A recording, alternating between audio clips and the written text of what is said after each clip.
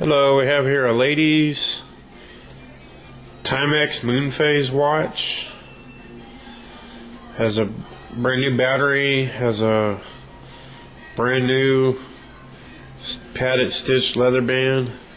It's running keep perfect time, no visible scratches on the crystal or the outside of the case. There you go. There you go. Has a few scuffs on the case back, but the watch, from looking at it from the uh, front point, I mean, looks new.